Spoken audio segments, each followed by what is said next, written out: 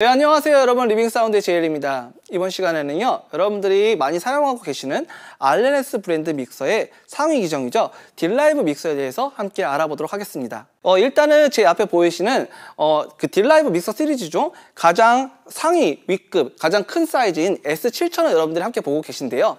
어, 여러 가지 뭐 인풋과 아웃풋 모든 processing들을 여러분들이 이 보드 앞에서 다 operating을 하게 되실 겁니다. 근데 실상 여러분들이 어, 사용하고 계셨던 소형 콘솔 중에 SQ 시리즈, 뭐 QU 시리즈 혹은 어, Avantis 시리즈 같은 경우에는 믹서 자체가 엔진을 보유하고 있기 때문에 여러분들이 모든 인풋과 아웃풋의 모든 명령들을 실제 그 보드에 직접 다 working을 한다고 생각하시면 되겠어요.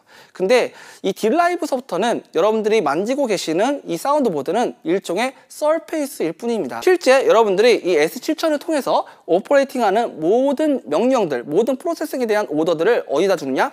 엔진에다가 따로 주시게 되는데요. 그 엔진은 여러분들 제 뒤쪽에 보이시는 여기에 DM64 어, 요 snake 엔진 어, 엔진과 snake가 같이 함께 있는 요 DM64로 여러분들이 명령을 주게 되십니다. 어, 실제 이 DM64라고 불러지는 이유는 어, 인풋이 1번서부터 64번까지 64개의 인풋을 가지고 있고요. 그 다음에 1, 아웃풋이 1번서부터 32번까지 32 인풋을, 아웃풋을 가지고 있기 때문에 DM64라고 여러분들이 어, 모델명을 부르게 되시고요. 만약에 32트랙의 인풋을 가지고 있으면 DM32, 48트랙을 가지고 있으면 DM48 이렇게 여러분들이 이름 옆에 그 숫자가 이 snake의 인풋과 아웃풋의 수를 의미한다고 보시면 되겠습니다. 자 그래서 여러분들이 DM64로 인풋과 아웃풋 모든 processing이 working하는 부분들을 이 surface에서 확인하면서 여러분들이 operating을 연동하면서 하신다고 생각하시면 되겠습니다. 어, 실제 이 surface에서 DM64로 연결하는 방법은요. 이 surface 뒤쪽에 보시면 gigaACE 포트를 여러분들 확인하실 수가 있는데요.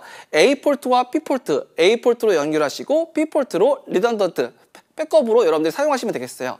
자, 믹서뿐만 아니라 여기 DM64 요 앞쪽에도 보시면은요. gigaACE 포트가 이렇게 있는 것을 함께 보실 수가 있어요. 그래서 어 그 surface에 있는 gigaACE 포트 A에다가 연결한 케이블을 DM64의 gigaACE A 포트에다가 연결을 하시고요. 마찬가지로 surface의 gigaACE B 포트에 있었던 그 케이블을 여기 보이시는 어, DM64의 gigaACE B 포트에다 연결하시면 어, redundant로 여러분들이 백업으로 해서 모든 그 surface와 DM64가 연동되는 것들을 함께 확인하실 수가 있습니다. 자 그러면 시, 실제로 서페이스와 DM64를 어떻게 해서 기본 셋업을 함께 구성하고 디자인할 수 있는지에 대해서 알아보도록 하겠습니다.